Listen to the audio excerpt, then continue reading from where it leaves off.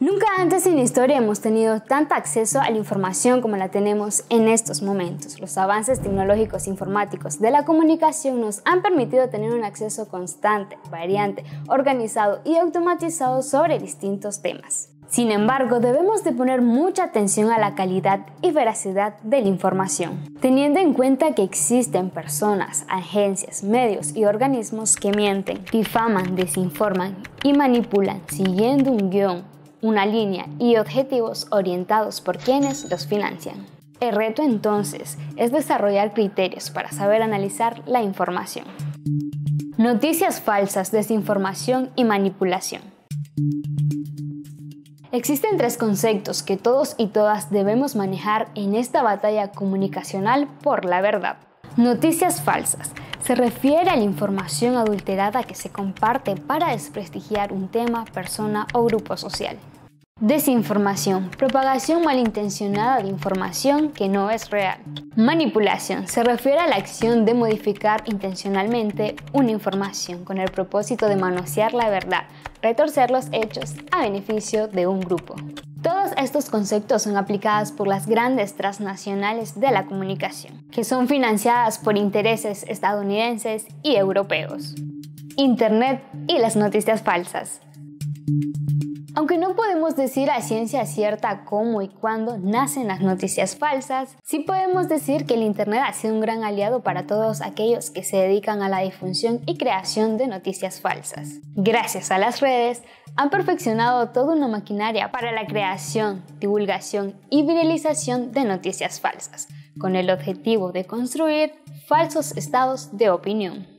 Una maquinaria mediática que tiene su origen en los grupos de poder en Estados Unidos y Europa.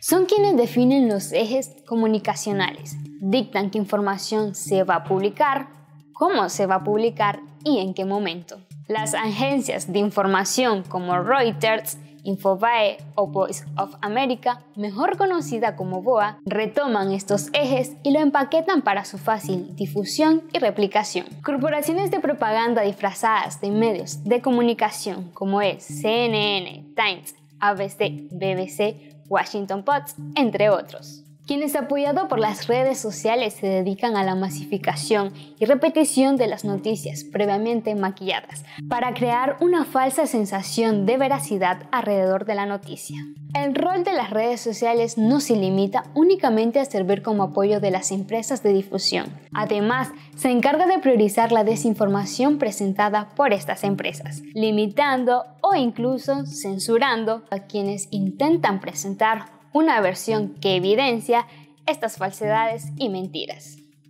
Que cada día conocemos más y más de este mundo donde la comunicación se traslada de manera instantánea y bueno, la dificultad está en qué comunicación se traslada, cuánta verdad verdadera hay en la comunicación, cuánta manipulación también, cuántas caras de la comunicación.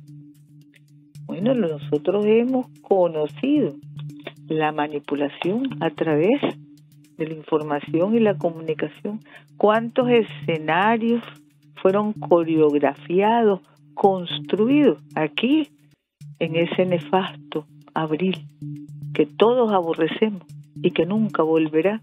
¿Cuántos escenarios? Lo vimos, lo veíamos, cuántas personas, incluso y sobre todo fuera del país, se confundieron cuando veían teatro, teatro puro, eso era. Por eso sabemos que hay coreografías, escenografías construidas para pretender movilizar conciencias hacia un lado o hacia otro. Lo hemos padecido, lo hemos vivido. Querían a algunos, esos destructores de la paz, querían que el mundo creyera que la insurrección se repetía en Nicaragua. Lo que había, crimen organizado, con un montaje coreográfico